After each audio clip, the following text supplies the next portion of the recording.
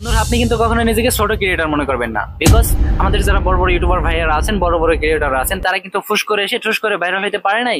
আপনি একটা জিনিস খেয়াল করেন, তারা কিন্তু এখানে আসার পর প্রচুর সময় ব্যয় করেছে তারা। তারা কিন্তু এখানে আসার পরে সুন্দর সুন্দর কন্টেন্ট কিন্তু তারা তৈরি করেছে, সুন্দর ভিডিও তারা আপলোড করেছে। যার জন্য দর্শক কিন্তু তাদের ভিডিও দেখতে বাধ্য। আর আমরা কি করি? যা খুশি আপলোড করে। দিই বন্ধুরা ইউটিউবে কিন্তু যা খুশি আপলোড করা যাবে না। এটা কিন্তু একটা ইউটিউব প্লেস পাবলিক প্লেস এখানে কিন্তু আপনার ভিডিওটা সবাই দেখে। এখন যদি এখানে এসে আপনি যা খুশি আপলোড করে দেন, যেটা ভালো লাগল, যেটা মন চাইলো সেটা যদি আপলোড করে দেন, তাহলে কিন্তু আপনার ইউটিউব জগৎটাই নষ্ট হয়ে যাবে। এটা কখনোই করবেন না। ইউটিউবে হিংসা, লাজ, লালসা, ঠাট্টা এসব থেকে বিরত থাকুন।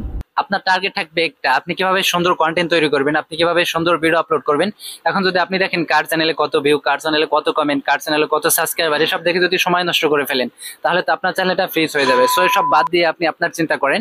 আপনার চ্যানেলটাকে আপনি কীভাবে র্যাঙ্ক করাতে পারবেন আপনার ভিডিও কোয়ালিটি গুলা কীভাবে আপনি সুন্দর করবেন, এটা নিয়ে আপনি বিজি থাকেন। তাহলে আশা করি আপনি কিন্তু ইউটিউবে সফল হতে পারবেন। আর যদি আপনি সব বাদ দিয়ে কার চ্যানেলে কত ভিউ কার চ্যানেলে কত সাবস্ক্রাইবার হলো, এটা দেখে বেড়ান অথবা আপনার সময়টাকে আপনি যদি এদিক ওদিক নষ্ট করে ফেলেন, তাহলে তো আপনি ইউটিউবে সফল হতে পারবেন না।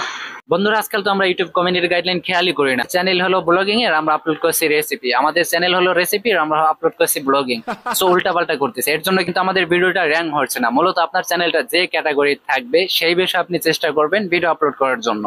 তাহলেই কিন্তু আপনার চ্যানেলটি খুব তাড়াতাড়ি গ্রো করবে। আপনার ভিডিওতে আপনি সুন্দর ট্যাগ ব্যবহার করতে পারেন, সুন্দর টাইটেল ব্যবহার করতে পারেন ডিসক্রিপশনগুলো সুন্দর করে লিখতে পারেন। সে বিষয়ে আপনাকে স্টেপ বাই স্টেপ জানতে হবে।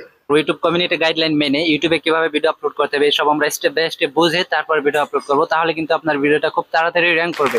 আর যদি আপনি সেটা বাদ যেহেতু উল্টাপাল্টা কিছু আপলোড করে থাকেন, যেমন সুন্দর করে ট্যাগ না দেন, সুন্দর করে ডিসক্রিপশন বক্স না দেন এবং সুন্দর করে টাইটেল না দেন, তাহলে কিন্তু আপনার ভিডিওটা র্যাঙ্ক করবে না। তাই ভালোভাবে বুঝে শুনে আপনি একটা ভিডিও আপলোড করেন ইউটিউবে আর দশটা ভিডিও আপলোড করেন, দেখেন পুরো কিন্তু আকাশ পাতাল ডিফারেন্স হয়ে যাবে। সো কথাগুলোর কারণে কিছু মনে করবেন না, কারণ কথাগুলো আপনাদের জন্য। সো আজকে পর্যন্তই। ভালো থাকবেন, সুস্থ থাকবেন। দেখা হবে অন্য কোনো দিন।